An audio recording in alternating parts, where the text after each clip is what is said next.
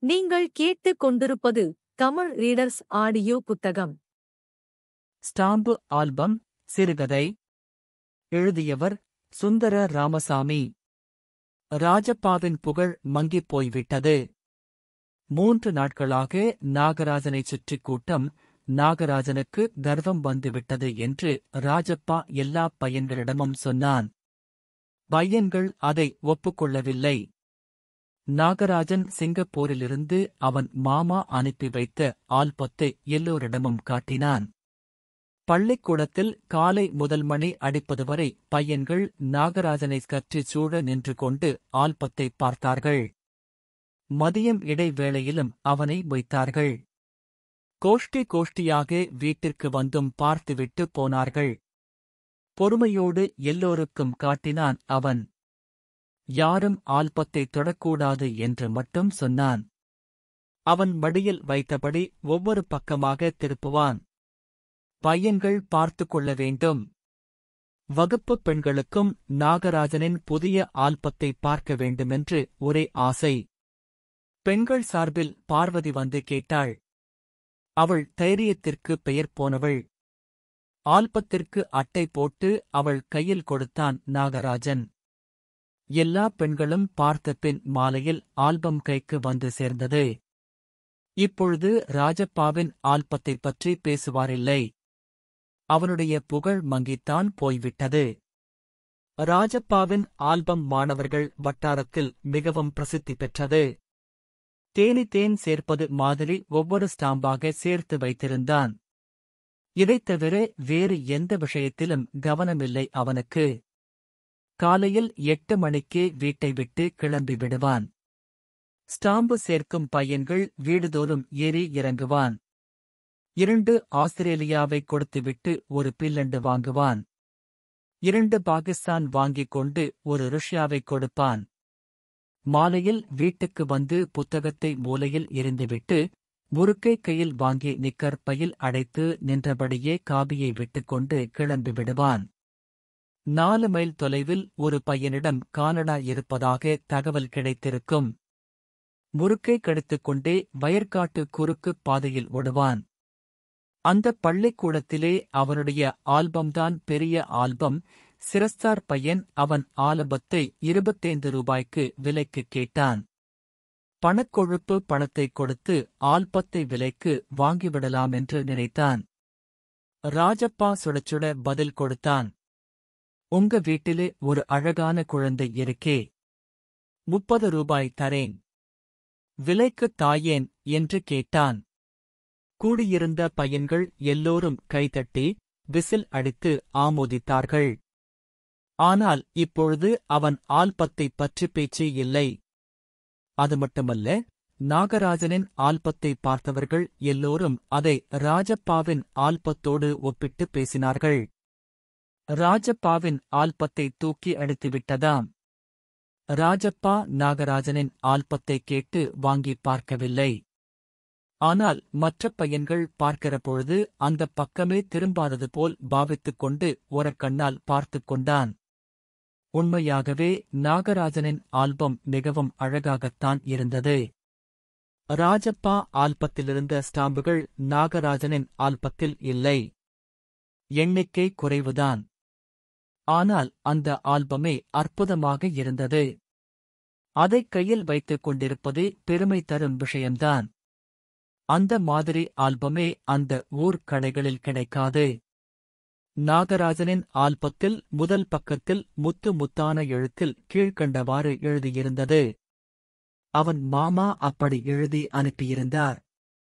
ஏயுஎஸ் நாகராஜன். வெட்கம் கெட்டுப் போய் இந்த ஆல்பத்தை யாரும் திருட வேண்டாம்.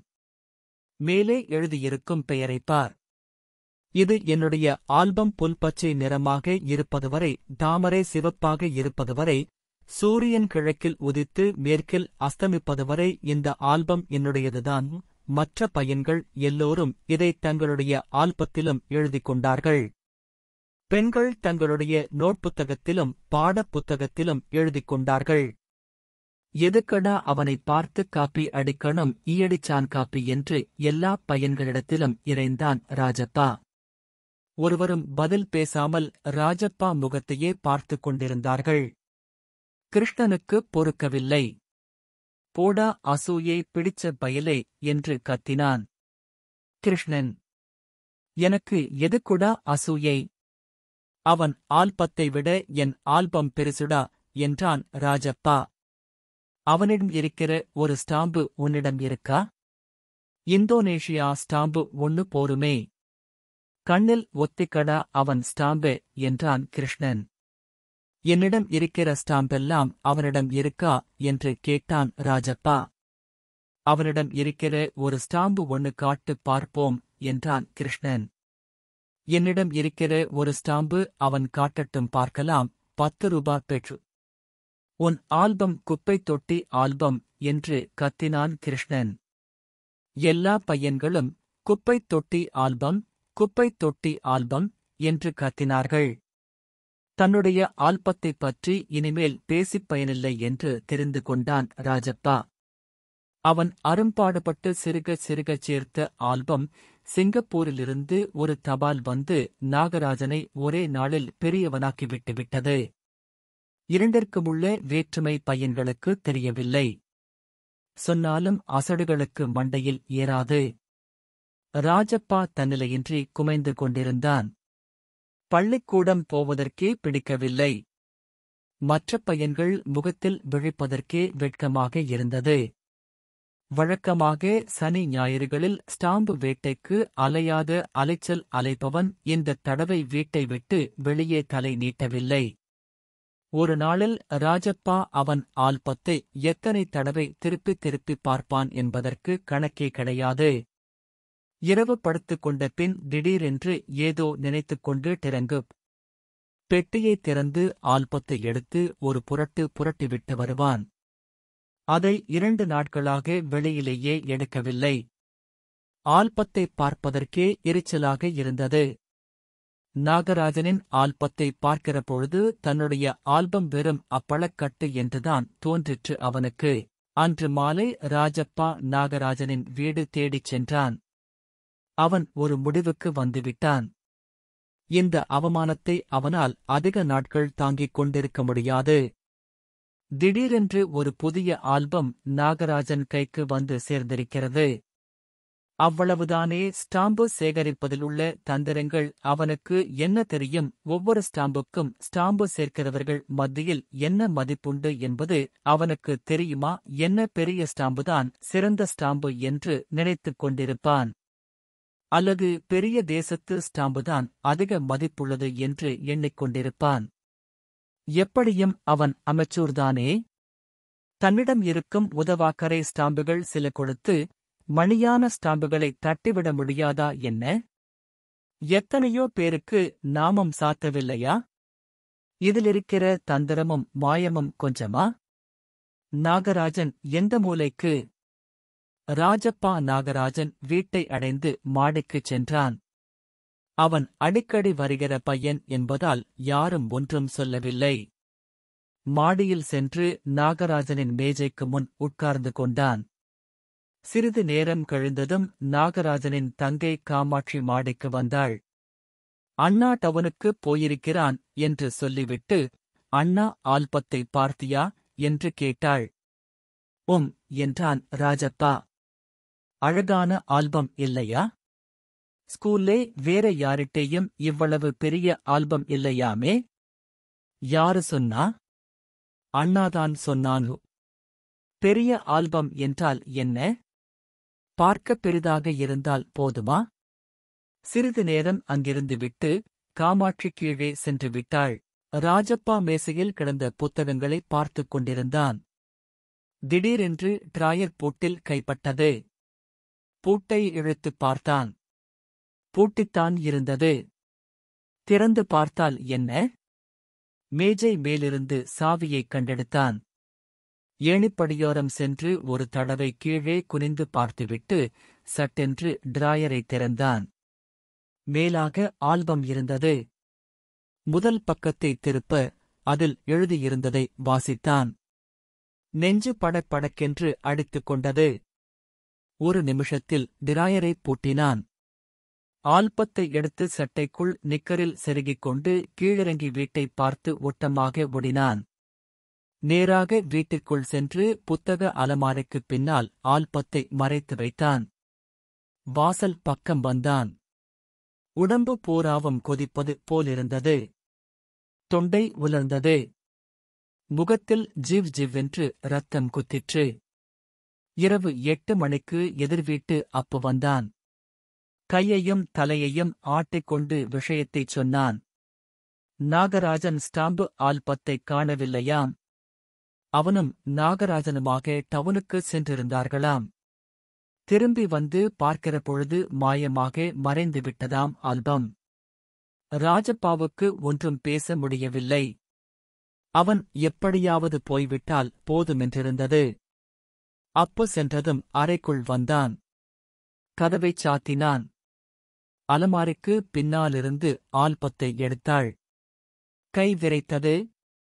ஜன்னல் வழியாக யாராவது பார்த்து விடுவார்கள் என்று பயந்து மீண்டும் ஆல்பத்தை அலமாரிக்கு பின்புறம் திணித்தான் இரவு சாப்பிட முடியவில்லை. வயிற்றை அழைத்துக் கொண்டு விட்டது. வீட்டில் உள்ள எல்லோரும் அவன் முகத்தை பார்த்து என்னடா என்னடா? என்று கேட்டார்கள். தன்னுடைய முகம் பயங்கரமாக கோணிக் கொண்டிருப்பது மாதிரி தோன்றிற்று அவனுக்கு. எப்படியாவது தூங்கிவிடுவோம் என்று படுக்கையை விரித்து படுத்தான். தூக்கம் வரவில்லை. தான் துறங்கிக் கொண்டிருக்கிற பொழுது யாராவது அலமாரிக்குப் பின்னாலிருந்து ஆல்பத்தை கண்டெடுத்து விட்டால் என்ன செய்வது என்று பயந்து ஆல்பத்தை எடுத்து வந்து தலையணைக்கடியில் வைத்துக் கொண்டான். இரவு எப்பொழுது தூங்கினான் என்பது அவனுக்கே தெரியாது. காலையில் கண் விழுத்த பின்பும் தலையணையில் இருந்து ஆல்பத்தை எடுக்க முடியவில்லை. தாயாரும் தகப்பனாரும் ஒருவர் மாற்றி ஒருவர் அங்கு வந்து கொண்டிருந்தார்கள். ஆல்பத்தோடு பாயைச் சுருட்டி அதன் மேல் உட்கார்ந்து கொண்டான். காலையில் மீண்டும் அப்பு வந்தான். அப்பொழுதும் ராஜப்பா பாய் மேல்தான் உட்கார்ந்து கொண்டிருந்தான். அப்பு காலையில் நாகராஜன் வீட்டுக்குப் போய்விட்டு வந்திருந்தான். நேற்று அவனுடைய வீட்டுக்குப் போனியோ என்று கேட்டான் அப்பு. ராஜப்பாவுக்கு வயிற்றைக் கலக்கிற்று. ஒரு தினசாக மண்டையை ஆட்டினான். எப்படி வேண்டுமென்றாலும் அர்த்தம் எடுத்துக்கொள்ளும் படி தலையை அசைத்தான். நாங்க வெளியில் போனபின் நீ மட்டும்தான் அங்கே வந்தாய் என்று காமாட்சி சொன்னாள் என்றான் அப்பு. தன்னை சந்தேகப்படுகிறார்கள் என்பது தெரிந்துவிட்டது ராஜப்பாவுக்கு. நேற்று ராத்திரியிலிருந்து இதுவரை அழுது கொண்டே இருக்கிறான் நாகராஜன். அவன் அப்பா போலீசுக்குச் சொன்னாலும் சொல்லுவார் போலிருக்கிறது என்றான் அப்பு. ராஜப்பா வாய் பேசாமலிருந்தான். அவன் அப்பாவுக்கு பி. எஸ். பி. ஆபீஸிலதானே வேலை? அவர் விரலை அசைத்தால் போலீஸ் படையே திரண்டுவிடும் என்றான் அப்பு. நல்ல வேளை அப்புவை தேடி அவன் தம்பி வந்தான். அப்பு சென்று விட்டான் ராஜப்பாவின் தகப்பனாரும் காலை உணவை முடித்துக்கொண்டு சைக்கிளில் ஆபீஸ் சென்று விட்டார் வாசல் கதவு சாத்தியிருந்தது ராஜப்பா படுக்கையிலேயே உட்கார்ந்து கொண்டிருந்தான். அரை மணி நேரமாயிற்று. அப்படியே அசையாமல் உட்கார்ந்து கொண்டிருந்தான். அப்பொழுது வாசல் கதவைத் தட்டும் ஒசை கேட்டது. போலீஸ் போலீஸ் என்று தனக்குள் சொல்லிக் கொண்டான் ராஜப்பா. வாசல் கதவில் உள்ளே சங்கிலி போட்டிருந்தது. வாசல் கதவைத் தட்டும் சப்தம் தொடர்ந்து கேட்டது. ராஜப்பா பாய்க்குள்ளிருந்து ஆல்பத்தை வெளியே எடுத்துக்கொண்டு மாடிக்கு ஓடினான். அங்கே நிற்க முடியவில்லை. அலமாரிக்குப் பின்னால் ஆல்பத்தை தெளித்தான். சோதனை போட்டால் அகப்பட்டுவிடுமே ஆல்பத்தை எடுத்துக்கொண்டு சட்டைக்குள் மறைத்தவாறே கீழே வந்தான். அப்பொழுதும் வாசல் கதவைத் தட்டும் ஒசை கேட்டுக் கொண்டிருந்தது. யாருடா? யாரு கதவை திறையேன்? என்று அம்மா உள்ளே இருந்து கத்திக் கொண்டிருந்தாள். இன்னும் சில வினாடிகளில் அம்மாவே வந்து திறந்து விடுவாள். ராஜப்பா பின்புறம் ஓடினான். மடமடவென்று ஸ்நான அறைக்குள் சென்று கதவைத் தாளிட்டுக் கொண்டான்.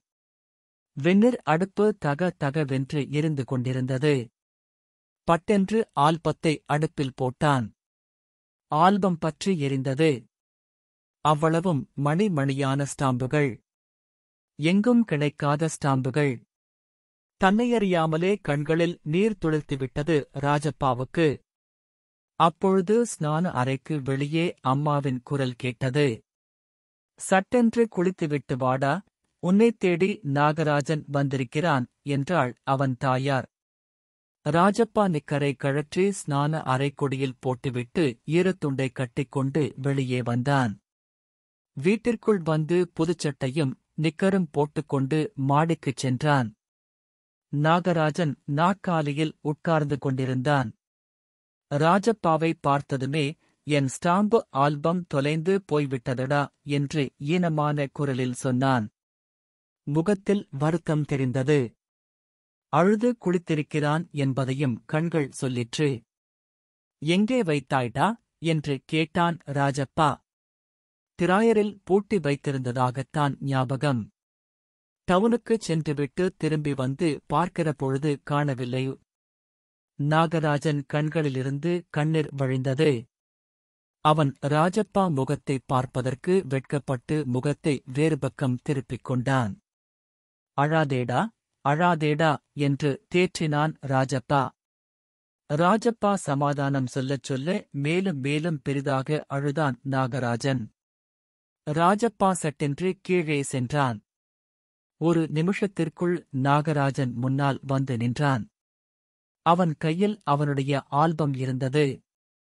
நாகராஜா இந்த என்னுடைய ஆல்பம் இதை நீயே வைத்துக்கொள். உனக்கே உனக்குத்தான். என்ன அப்படி பார்க்கிறாய் விளையாட்டில்லை. உனக்குத்தான். உனக்கேதான். சும்மா சொல்கிறாய் என்றான் நாகராஜன். இல்லையடா உனக்கே தருகிறேன். நிஜமாகத்தான். உனக்கே உனக்கு வைத்துக் கொள்ளு. ராஜப்பா அவன் ஸ்டாம்பு ஆல்பத்தை கொடுத்து விடுவதா?